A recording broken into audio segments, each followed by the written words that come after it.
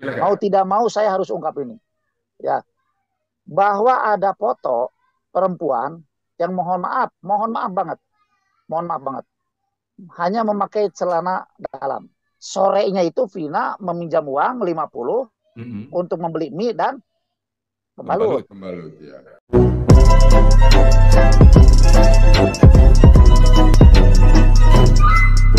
Halo guys, berjumpa lagi bersama Ray TV. Sebelum kita mulai, alangkah baiknya kalian tekan tombol subscribe dan jangan lupa kalian aktifkan tombol loncengnya agar kalian dapat notifikasi video selanjutnya. Langsung saja kita mulai. Check it out.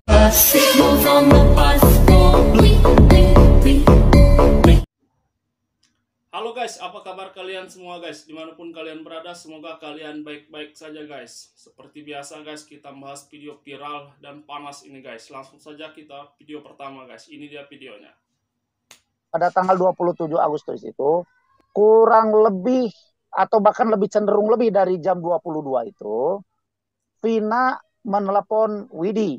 Ini penuturan Widi ya. Iya. Baik disampaikan melalui uh, diskursus maupun disampaikan langsung ke saya by phone. Okay.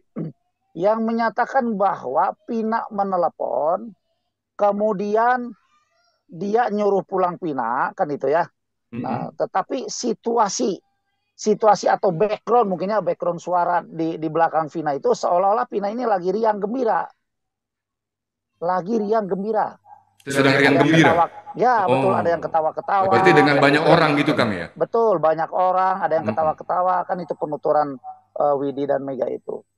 Nah, tetapi kemudian belasan menit ke depan ya, belasan menit ke depan tiba-tiba si almarhumah ini tidak bisa lagi dihubungi hmm. oleh Widi. Kan begitu? Ya, tidak bisa lagi dihubungi oleh Widi. Ini belasan menit loh, Kang. Belasan menit. Bukan jam-jam. Apalagi hari-hari bukan ini karena memang waktu itu waktu kejadian ya. Belasan menit tidak bisa lagi dihubungi. Kemudian setelah mereka terus mencoba menghubungi karena mereka ingin menyuruh Vina pulang, akhirnya yang HP-nya tadinya mati, katanya kata Widi itu, tiba-tiba bisa lagi berdering, tetapi tidak diangkat. Hmm. Kan itu. Nah, setelah jam 22 lebih puluhan menit, nah adalah diangkat tetapi seorang laki-laki. Nah, cuman begitu dihalau-halau dan dicoba dihubungi oleh Widi, tidak menyahut. Tetapi beberapa saat kemudian si laki-laki itu bilang bahwa dia dari Polsek Talun. Hmm. Nah, yang menyampaikan bahwa Ananda Widi eh Ananda Widi. Saya ulangi, Ananda Vina kecelakaan lalu lintas. Hmm. Nah ini yang membuat shock Widi dan Mega. Saya me menyimpulkan dari dari waktu yang disampaikan oleh uh, Widi dan Mega yang diberikan kepada saya keterangannya, berpikir saya kembali ke tahun 2016, apakah iya pembunuhan itu dilakukan di tempat lain hmm. yang di dalam alur ceritanya kan di, di, di sebuah lokasi yang sepi lah begitu ya. Kemudian dalam jangka waktu belasan menit, tiba-tiba si mayat bisa dipindahkan ke lokasi lain. Ya, ya cukup, cukup jauh, jauh kan, kan begitu. Cukup jauh, cukup ya. jauh. Dan situasinya rame waktu itu ada suara motor, ada suara orang ketawa-ketawa. Kan sangat sangat bertolak belakang dengan situasi yang digambarkan di dalam berita acara yang terjadi di tahun 2016. Ya, sehingga akhirnya saya sempat berpikir ini jangan-jangan apa yang disampaikan oleh dulu pernah menyampaikan ya Pak Suroto itu bahwa ini adalah kecelakaan lalu lintas. Kan itu kecelakaan lah begitu. Nah, cuman pertanyaannya, kecelakaan ini adalah karena kecelakaan tunggal atau karena kecelakaan orang lain kan gitu ya katakanlah kalau kita bilang tabrak lari lah dan atau apa pun lah itu ya kan itu uh, kemudian ada lagi poin yang saya tangkap itu dari apa yang disampaikan oleh Widi bahwa sebelum Vina keluar rumah Widi ya pada saat uh, malam kejadian itu si Vina ini meminjam bajunya Widi. Hmm, ini hal baru, ini hal baru. Ya, betul dress hitam, kemudian ada rompi yang berwarna bunga-bunga agak-agak putih kan gitu ya. Kemudian memakai celana uh, span pendek. Oh. yang punya Widi juga. Oh begitu. Semuanya yang dipakai oleh almarhum almarhumah Vina itu saat itu adalah sebetulnya dress termasuk short pant itu milik Widi, Kang. milik Hmm, Widi. hmm, Kemudian memakai sendalnya Widi yang warna krem. hmm. Nah, itu ya. Kita mundur lagi ke belakang, Kang. Mundur lagi ke belakang beberapa jam sebelum Pina mem- meminjam bajunya Widi. Ya. Di sore harinya, Vina ini sempat minjam uang ke Widi.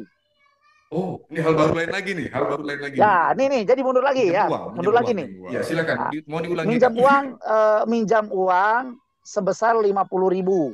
Iya. Yang kata Widi itu Pina mau beli mie dengan, mohon maaf ya, pembalut. Hmm. Nah, eh, mau beli mie dengan pembalut. Artinya kalau kita berbicara tentang pembalut, itu ber- berarti berbicara dengan ranah yang sensitif dari seorang perempuan. Iya. Ya. Nah, terjadilah apa yang tadi saya di, di awal diungkapkan, ya, tidak bisa dihubungi, kemudian belasan menit ke depan eh, HP-nya off, Nah, kemudian beberapa puluh menit ke depan tiba-tiba ada info bahwa Vina kecelakaan lalu lintas. Nah, tadi pagi saya berkomunikasi dengan Ibu Titin. Akang tahu ya Ibu Titin ya? Ya, Ibu Titin. Yang sejak awal memperjuangkan kebebasan daripada Sakatatal. Iya. Ini saya sampai mohon maaf ini saya sampai merinding nih mendengar mendengar cerita Ibu Titin. Ibu Titin itu konsisten dari sejak awal ya pembelaan terhadap Sakatatal bahwa dia menyebutkan ini kecelakaan. Hmm. Tidak pernah sedikit pun Ibu Titin menyebut bahwa ini adalah korban pembunuhan. Ini kecelakaan. Nah, kemudian Ibu Titin mohon maaf ya menyampaikan juga ke ke saya beberapa foto dan itu ada di saya sekarang fotonya. Dan beliau menyampaikan foto ini belum pernah diupload, eh, belum pernah diperlihatkan di muka sidang sekalipun. Maaf Kang, apakah itu termasuk foto yang kemarin sempat ditampilkan di Pengadilan Negeri PN Cirebon dalam konteks sidang pra PK sesuai dengan permohonan Sakatatal? Apakah sama fotonya?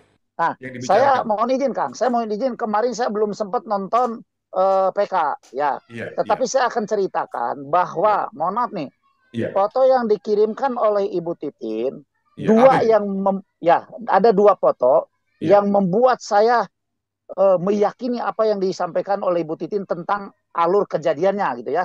Bukan peristiwa pidana ini bukan. Iya. alur kejadian eh, eh, ke- kematian ya. Hmm. kematian daripada Eki Vina pertama ada foto perempuan yang memakai kaos hitam dengan rompi putih-putih. Artinya kalau saya eh, korelasikan foto itu dengan apa yang disampaikan oleh Widi bahwa sebelum Pina keluar rumah meminjam bajunya Widi itu cocok. Sesuai. Itu yang pertama ya. Kemudian yang kedua mohon maaf ini saya agak sedikit eh, berbicara agak agak sedikit sensitif ya Kang. Iya. tapi mau tidak mau saya harus ungkap ini. Silakan. mau tidak mau saya harus ungkap ini. Ya. Bahwa ada foto perempuan yang mohon maaf mohon maaf banget. Mohon maaf banget hanya memakai celana dalam Ya. Silakan apa? silakan akang kalau misalkan ini perlu disensor silakan sensor Maaf tapi ini saya harus ungkap foto wanita dengan maaf maaf sekali lagi ini tidak bermaksud vulgar. Tadi Kang Mohtar menyebutkan foto kedua yang diperlihatkan oleh Bu Titin pagi tadi ini pada Kang Mohtar. Foto keduanya seorang wanita dengan maaf sekali lagi hanya memakai celana dalam, begitu? hanya memakai celana dalam dan itu posisi foto diambil pada saat perempuan itu ada di rumah sakit Hmm. Oh, ya. bukan bukan di, di lokasi bukan di rumah sakit Di rumah sakit posisinya. di rumah sakit. Nah, keterangan Ibu Titin itu itu lagi diobati, lagi dicek gitu ya. Nah, saya sempat bertanya, mohon maaf banget, mohon maaf. Bu, ini foto laki-laki apa perempuan kan itu? Mm-mm. Nah, Ibu Titin menyampaikan, Pak, itu foto perempuan. Itulah foto Vina. Terus saya Hmm. bilang, loh, kenapa? Mohon maaf, mohon maaf, mohon maaf. Kok beda di selangkangannya kan itu? Mohon maaf ya, mohon Hmm. maaf. Nah, ini saya bilang, saya terpaksa harus menyampaikan ini, Kang. Biar jelas. Itu seorang perempuan yang lagi memakai pembalut. Kata Ibu Titin. Hmm. Nah, artinya apa yang disampaikan ol- oleh Ibu Titin bersesuaian dengan apa yang disampaikan oleh Widi. Oh. bahwa sorenya itu ya Ya. sorenya itu Vina meminjam uang 50 Mm-mm. untuk membeli mie dan pembalut. Pembalut, pembalut ya. Nah, kan begitu. Ternyata benar bersesuaian waktu itu dengan Bersesuaian. pembalutnya. Maaf ini. Baik, ber- bersesuaian, Kang. Sangat bersesuaian. Ya. Di satu sisi Widi menyampaikan bahwa Pina mem- meminjam uang 50 untuk beli eh, salah satu di antaranya pembalut. Kemudian di sisi lain, Ibu Titin menjelaskan ke saya bahwa itu adalah seorang perempuan, foto perempuan, ya, memakai celana dalam saja dan ada pembalutnya. Kan beda lah ya, beda gitu ya. Mm-mm. Kemudian eh, saya sambungkan dengan peristiwa bahwa Widi mencoba menghubungi eh, Vina tetapi tidak pernah terkoneksi kan itu ya. Nah beberapa belas menit kemudian beberapa puluh menit ke depan ada kabar bahwa Vina kecelakaan.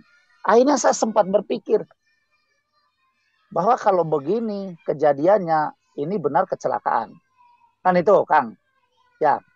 Karena mohon maaf Akang, mohon maaf banget eh, di dalam foto yang disampaikan ke saya itu celananya masih terpakai rapi, Gimana? masih ya? terpakai rapi. Celana dalamnya itu masih terpakai rapi. Oke. Nah, logikanya, punten, punten, punten, logikanya kalau memang perempuan itu atau Vina ini adalah korban ruda paksa, Mm-mm. ya paling tidak, paling tidak celana dalamnya, paling tidak ini mohon maaf, Mm. eh, melorot tidak di tempatnya atau mungkin bahkan tidak sama sekali menggunakan celana, memakai celana dalam. Kan begitu. Ini rapi. Rapi tidak ada seolah-olah tidak ada yang be- apa merubah tempat lokasi celana itulah gitu ya. Nah, ini saya sehingga berpikir oh, memang benar ini kecelakaan kan itu. Ya. Tetapi walau bagaimanapun juga cerita ini saya tetap Saya tetap berkeyakinan bahwa yang tahu peristiwa ini, yang harus mengungkap peristiwa ini adalah Rubiana.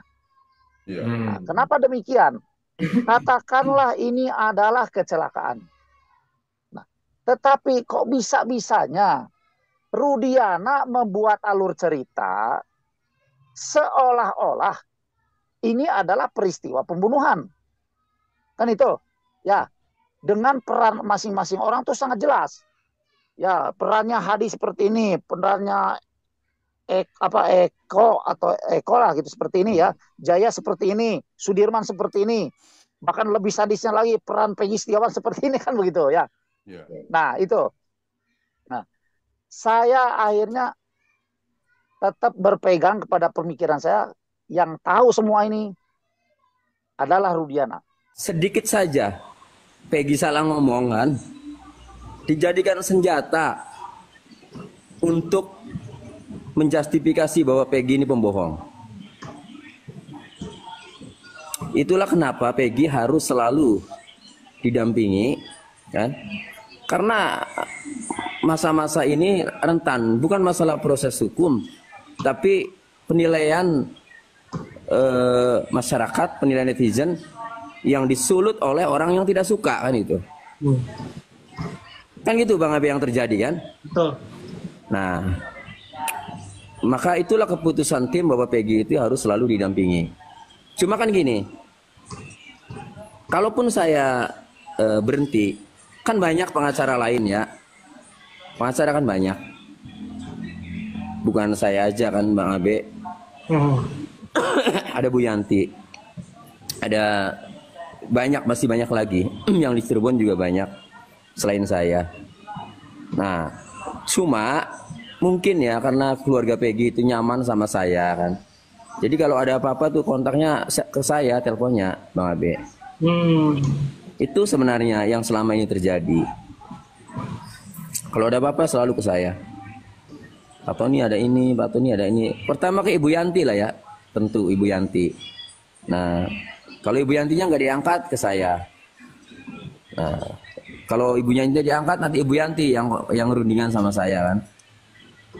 Itu.